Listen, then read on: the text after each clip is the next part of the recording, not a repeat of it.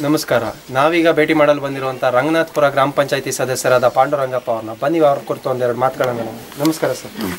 Sir ನಿಮ್ಮ ಹೆಸರು? ಪಾಂಡುರಂಗಪ್ಪ.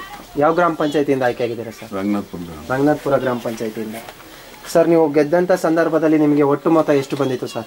ನಾನ್ನೂರ ನಲವತ್ತು ನಾನ್ನೂರ ನಲವತ್ತು ಎಷ್ಟು ಮತ ಅಂತರದಲ್ಲಿ ತಾವು ಗೆದ್ದಿದ್ದು ಸರ್? ಹತ್ತು ಅಂತರದಿಂದ. ಹತ್ತು ಅಂತರದಿಂದ. ಸರ್ ಇದು ನೀವು ಯಾವ ಪಕ್ಷದಿಂದ ನಿಮ್ಮನ್ನು ನೀವು ಗುರುತಿಸ್ಕೊಂಡಿದ್ದೀರಾ ಸರ್? ನಾವು J D S J D S ಇಂದ.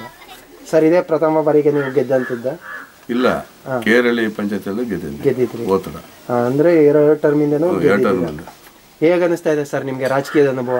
ರಾಜಕೀಯದ ಹಿಂಗೆ ಒಳ್ಳೇದಾಗಿ ಒಳ್ಳೇದಾಗತ್ತೆ. ಕೆಟ್ಟದ ಮಾಡಿದ್ರೆ ಕೆಟ್ಟದಾಗತ್ತೆ. ಇದೇ ರಾಜಕೀಯ. ಇವಾಗ ನಿಮ್ಮ ಗ್ರಾಮ ಪಂಚಾಯತಿನಲ್ಲಿ ನಿಮ್ಮ ಮೇಲಿನ ಅಧಿಕಾರಿಗಳ ಕಡೆಯಿಂದ ನಿಮ್ಮ ಗ್ರಾಮಸ್ಥರಿಗೆ ಯಾವ ತರ ಕೆಲಸ ಕಾರ್ಯಗಳಾಗ್ತಾ ಇದೆ ಸರ್? ಕೆಲಸನ ಆಗ್ತದ ಸರ್ ಹಂಗೆ? ಹಾಗಿದೆ. ಇವಾಗ ಸರ್ ನೀವು ಬಂದು ನಿಂತು ಗೆದ್ದು ಮೂರುವರೆ ವರ್ಷ ಆಗಿದೆ. ಈ ಮೂರು ವರ್ಷ ಮೂರುವರೆ ವರ್ಷ ಕಾಲಾವಧಿಯಲ್ಲಿ ನೀವು ನಿಮ್ಮ ಜನತೆಗೆ ಏನೇನ ಸಹಕಾರ ಮಾಡ್ಕೊಟ್ಟಿದ್ದೀರಿ ನಾವು ಬಾಗ್ ಚರಂಡಿ ರೋಡು ಇನ್ನು ಕೆಲವು ಕೆಲಸಗಳೆಲ್ಲ ಮಾಡ್ಕೊಟ್ಟಿದ್ವಿ. ಬಡವ್ರ ಬಗ್ಗರಿಗೆ. ನಮ್ಮಿಂದ ಆಗ ಕೆಲಸ ನಿಮ್ಮಿಂದ ಆಗ ಕೆಲಸ ಎಲ್ಲಾನು ಮಾಡ್ಕೊಟ್ಟಿದ್ವಿ. ಅಂದ್ರೆ ಇವಾಗ ನಿಮ್ಗೆ ಇನ್ನೂ ಒಂದೂವರೆ ವರ್ಷ ಕಾಲಾವಧಿಗಳ ಕಾಲಾವಧಿ ಇದೆ. ಈ ಟರ್ಮ್ ಅಲ್ಲಿ ನೀವು ಏನ್ ಮಾ ಇನ್ನ ಏನೇನ್ ಕೆಲಸಗಳನ್ನ ಮಾಡ್ಬೇಕು ಅಂತ ಅನ್ಕೊಂಡಿದ್ದೀರಾ ಸರ್ ನಿಮ್ಮ ಗ್ರಾಮದ ಜನತೆಗೆ? ಗ್ರಾಮದ ಜನತೆಗೆ ಒಳ್ಳೆ ಕಾರ್ಯಗಳನ್ನೇ ಮಾಡ್ಬೇಕಂತ ನಮ್ಮ ಅಭಿಲಾಷೆ. ಹೀಗೆ ನಿಮ್ಮ ರಾಜಕೀಯದಲ್ಲಿ ಇನ್ನೂ ಮುಂದುವರಿಬೇಕು ಅಂತ ಏನಾದ್ರು ಐಡಿಯಾಸ್ ಇದೆ ಏನಿಲ್ಲ ಸರ್ ಇಲ್ಲಿಗೆ ಸಾಕು ಅಂತತೆ. ಜನ ಬಿಡ್ತಾ ಇಲ್ಲ. ಜನ ಇಲ್ಲಿ ಇಲ್ಲಿ ಇನ್ನೊಂದ್ ಬಾ ಅಂತ ನಮ್ಮ ಕರಿತದೆ.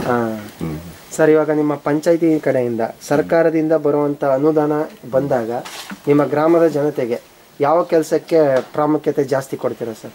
ಸರ್ ಇದೇ ಐತಲ್ಲ ಉದ್ಯೋಗ ಖಾತ್ರಿ. ಹಾಂ. ಅದರಲ್ಲಿ ಕೆಲಸ ಮಾಡ್ತಾರೆ ಸರ್ ಇವಾಗ ನಿಮಗೆ ರಾಜಕೀಯಕ್ಕೆ ಬರಬೇಕು ಅಂತಂದ್ರೆ ಸ್ಫೂರ್ತಿ ಗುರುಗಳು ಅಂತ ಯಾರು ಇದ್ರೆ ಹೇಳ್ಕೋಬೋದು ಸರ್. ನಮಗೆ ರಾಜಕೀಯಕ್ಕೆ ಬರ್ಬೇಕಂದ್ರೆ ಯಶೋಧರ್ ಅಂತ ಜೆ ಡಿ ಎಸ್ ಅಧ್ಯಕ್ಷ ನಿಮ್ಮ ಸ್ಫೂರ್ತಿ ಅವರು. ಸ್ಫೂರ್ತಿ. ಸರ್ ಇನ್ನ ನಿಮಗೆ ಹದಿನೈದು ಜನ ಸದಸ್ಯರುಗಳಿದ್ದಾರೆ ನಿಮ್ಮ ಗ್ರಾಮ ಪಂಚಾಯತಿನಲ್ಲಿ.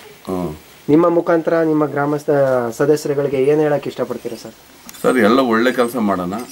ನಾವು ಇಳಿಯೋದ್ರೊಳಗಾಗಿ ಒಳ್ಳೆ ಹೆಸರು ತಾಮನ ಅಂತ ಹೇಳ್ತಾರೆ ಹೇಳ್ತಾರೆ ಸರ್ ಇವಾಗ ನಿಮ್ಗೆ ಮತ ಹಾಕಿ ಗೆಲ್ಸಿರೋಂತ ನಿಮ್ಮ ವಾರ್ಡಿನ ಜನತೆ ನೀವು ಗೆಲ್ಲಕ್ಕೆ ಅವರೇ ಕಾರಣ. ನಿಮ್ಮ ಮುಖಾಂತರ ಜನತೆಗೆ ಯಾವ ತರ ಅಭಿನಂದನೆಗಳನ್ನ ಹೇಳಕ್ ಇಷ್ಟ ಸರ್ ಅವ್ರಿಗೆ ನಾವು ಎಷ್ಟು ಮಾಡಿದ್ರು ಸಾಲದು ಸೇವೆನ ಹಾ ನಮ್ಗೆ ಗೆಲ್ಸಿ ಇದ್ ಮಾಡಿದ್ಕೆ ನಾವೆಲ್ಲಿದ್ದೋ ಬಂದು ನಿಂತ್ಕೊಂಡು ಗೆದ್ದು ಸಹಾಯ ಮಾಡಿದ್ವಿ ನಾವು ಅವ್ರಿಗೆ ಏನ್ ಮಾಡಿದ್ರು ಸಾಲ್ಟ್ ಆಗೈತೆ ಅದೇ. ಆ ತರ ಒಂದು ಕೃತಜ್ಞತೆ ಹೇಳಕ್ಕೆ ಇಷ್ಟಪಡ್ತೀನಿ. ನಮಸ್ಕಾರ ಸರ್. ನಮಸ್ಕಾರ.